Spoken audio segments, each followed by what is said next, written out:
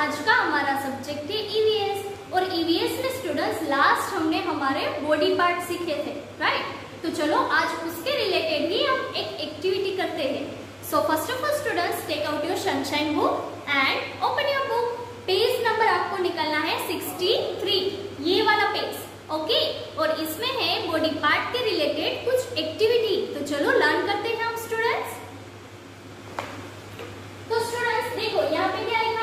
लिखा है filling the blanks with the correct letter to मतलब कि यहाँ पे आपको ब्लैंक्स दी है राइट इसी तरह से आपको फुल पेज में ब्लैंक दी है देखो यहाँ पे दी है यहाँ पे ब्लैंक्स तो आपको क्या करना है? ये सारी ब्लैंक्स में आपको लेटर्स लिखने हैं ओके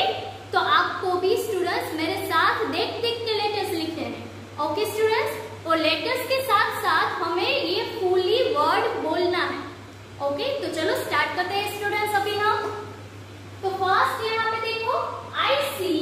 विथ माई डैश मतलब कि स्टूडेंट्स आप किससे देख सकते हो आपका बॉडी में से कौन सा ऐसा पार्ट है जिससे आप कुछ चीज़ देख सकते हो? चलो बताओ।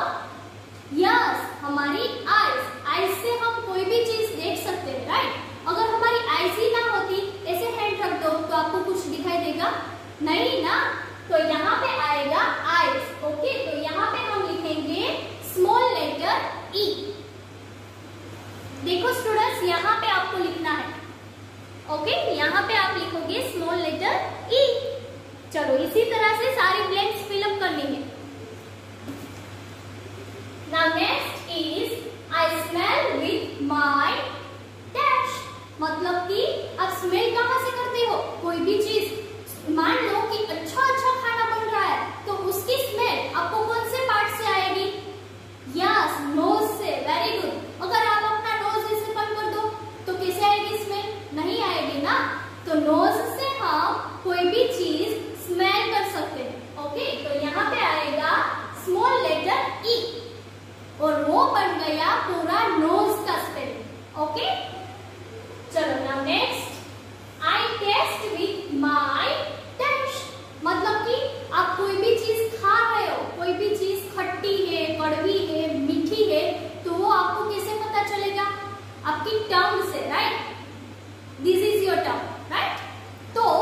अब हमारी टंग से ये आइसक्रीम का टेस्ट भी पता चल जाता है राइट तो यहाँ पर हम लिखेंगे लेटर ई तो आपका बन जाएगा वो टंग का spelling okay students now next I hear with my dash मतलब कि स्टूडेंट्स आपको कोई भी चीज़ सुनाई देगी तो वो कौन से पार्ट से सुनाई देगी हमारे ईयर से राइट अगर मैं आपको ये वीडियो में कुछ बोल रही हूँ तो आपको सुनाई दे रहा है ना राइट तो हमें ईयर से सुनना होता है ना अगर आपके ईयर से, से बंद हो जाए तो नहीं सुनाई देगा कुछ तो आप कहाँ से सुन सकते हो अपने ईयर से ओके तो यहाँ पे भी आपको लिखना है स्मॉल लेटर ई तो वो हो जाएगा आपके ईयर्स का पिक्चर ओके नाउ स्टूडेंट्स ये एक्टिविटी तो आपने अच्छे से मेरे साथ कर ली। अभी ये बार बार रिपीट करना और फिर टेस्ट स्मेल फिर कुछ भी देखना, कुछ भी सुनना, वो सब आप फील करना ओके